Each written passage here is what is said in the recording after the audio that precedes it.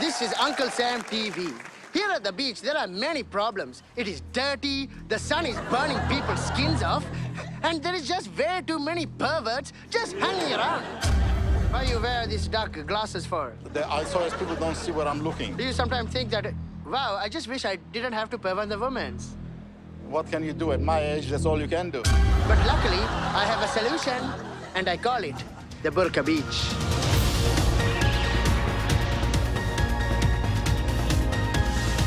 Hello, uh, my name is Uncle Sam, and I'm here today with Jackie Townsend, who is the wife of the mayor of uh, Pitts, uh, Pittswater. No, I am the mayor of Pittwater. Uh, what, what time will your husband becoming the, the mayor? Uh, I am the mayor of Pittwater. Is this like a TV show, You're Being Punk? Okay, I'll show you. I have a model. You can show this to the mayor. I want to unveil to you my plans for the beaches. Look at it, the Burqa Beach. Now, the entire facility is segregated.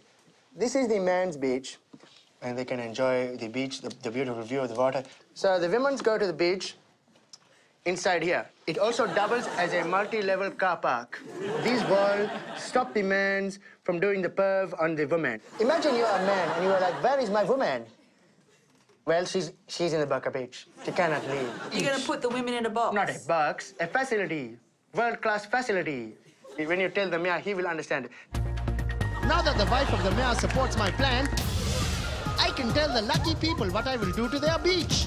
What do you think about the uh, the problem with uh, too much uh, uh, heat for the, for the skin damage? Well, it probably is if people don't put hats on and cover themselves and Yes. suntan lotion. That's right. You said they need to cover themselves. That's right. We- That's why we need an indoor, segregated, non-alcoholic uh, Muslim Burqa beach. Oh, no, we don't. Yes, she supports. Even the UK wants it. Good. Everyone is supporting Burqa Beach. Okay. No, I don't think so. They say, hey, China, come to the Burqa Beach. Hey, China, come to the Burqa Beach. It's better than a dim sum because it's halal. Halal? Until the Burqa Beach is constructed, I will have to make this beach halal the old-fashioned way. Hello, um, just want to know if, if you are, you are both married?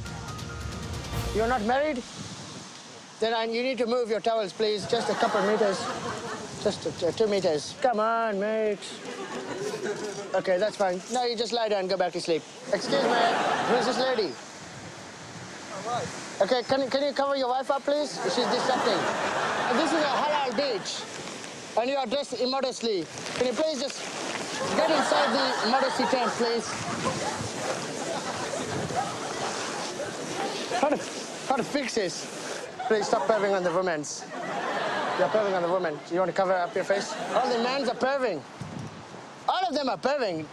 You don't even know.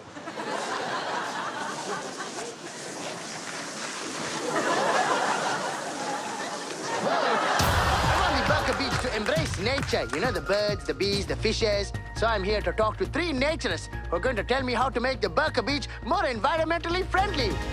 Now, here they are. They're just having a swim. Hey, come on, guys. Come on.